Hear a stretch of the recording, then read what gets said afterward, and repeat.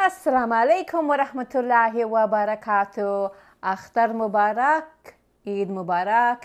If you're watching this during Eid, I'm filming it during Eid. It is Eid day number two here in the United States of America. Still a little bit weird to taste my food as I'm cooking it, but because I could taste it, I can tell you that this is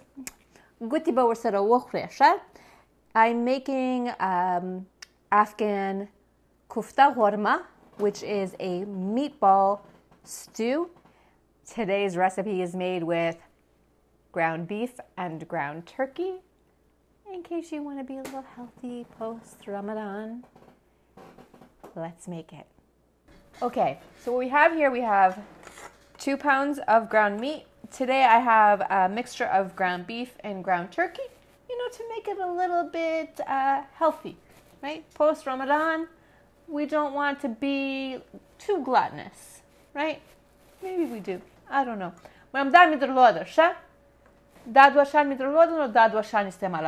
I had ground beef and ground turkey at home, so that's what I'm going to use. I have two onions. I'm going to put those into my food processor. Okay? So this is what I have in my house right now. Okay? So when I tell you all the time, chi recipe is just the recipe is just a template. If I had cilantro, that's what I would be using right now. But I don't have any in the house and I didn't buy any. So I have parsley here. I have some parsley. I'm going to add that. And I have some dill. Oh, it smells so good. I'm to add a handful of that. And the full recipe is in the description below, also on the website, so that you can see exactly the amounts that I add. Now, if I was smart, which I am today, I'm to add my meat into the food processor as well so I don't have to mix it up with my hands, although I don't mind mixing it up.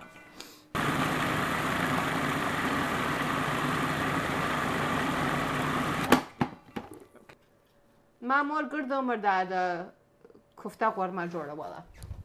So my mom made meatballs quite often in my house growing up. Um, and I, I have to be honest, I don't I don't really know how.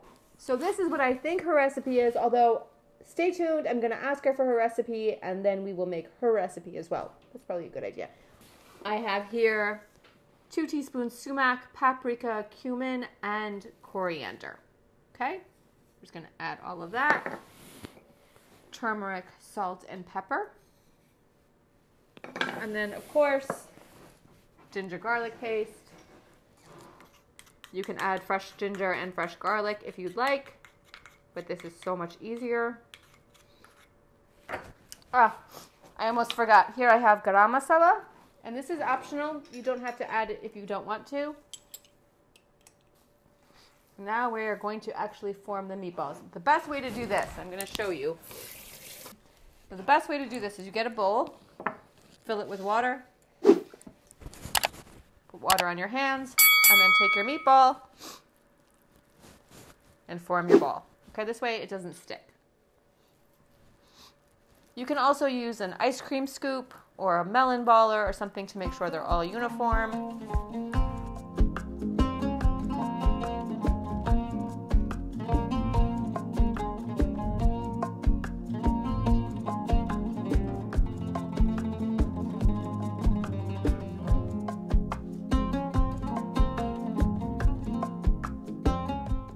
I have my oven preheated to 425 degrees. We're going to put these in there for 10 minutes to start and then we're going to check on them.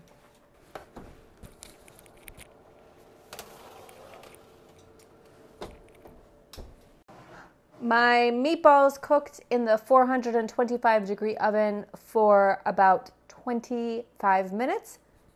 Perfect.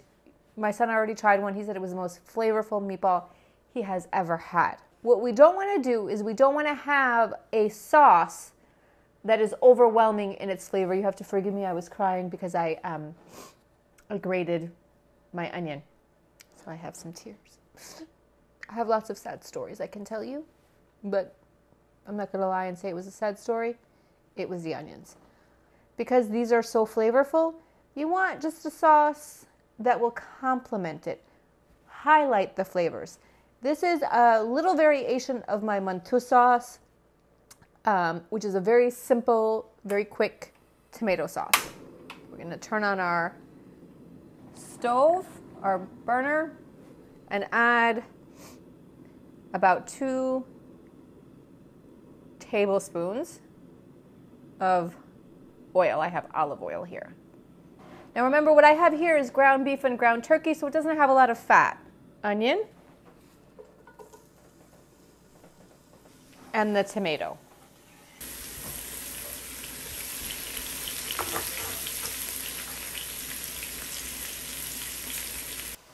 Now to this, I'm going to add one teaspoon of salt,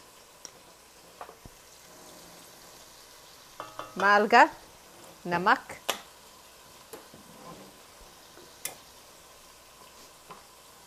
and one teaspoon of cumin.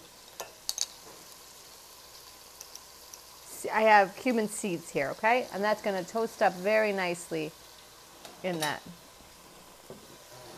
You want to make sure that your tomatoes get good and soft, okay?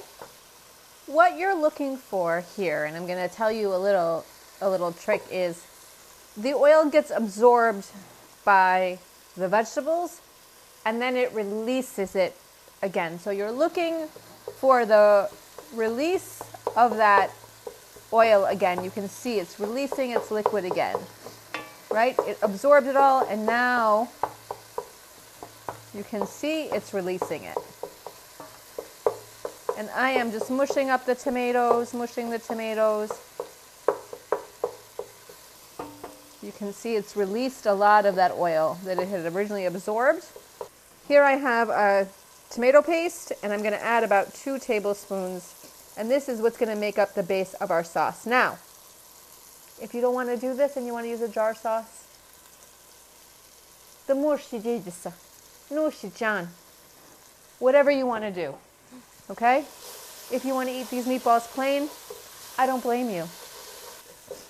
Okay, now everything is cooked, everything is good. Now we add the water. Okay? Bismillah. It's two and a half cups of water. We're going to let that come up to a boil again. And to this, we're to add about two teaspoons of vinegar. I have here white vinegar and some black pepper. I told you, very simple. Very simple. And don't complain, oh, it doesn't have any spices. Oh, it doesn't.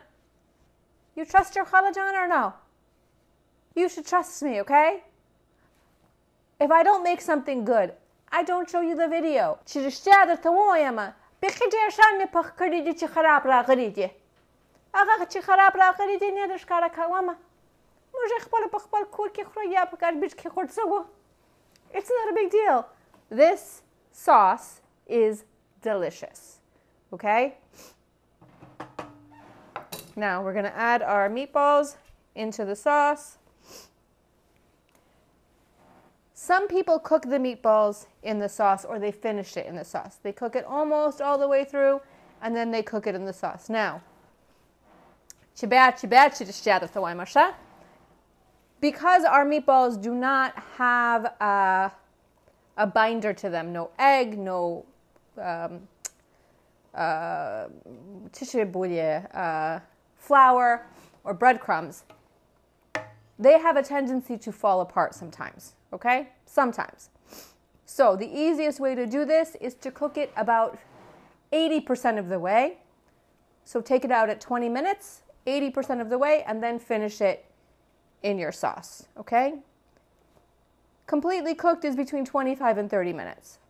But now you just let it sit here in the sauce, and then you get your rest of your food together. This warms all the way through. The sauce will reduce a little bit, and then you will have your wonderful meatballs and sauce, okay? Thank you so much for watching this episode of Afghan Cooks with Miriam, the Afghan who cooks. If you like this episode, please give it a thumbs up. You're here, you might as well subscribe. Why not get in early on the ground floor and hit the bell notification so you'll know every time we release a new video and leave a comment and let me know if you've tried one of my recipes, um, if there's something else you'd like me to make, and we'll see you again soon. Bye.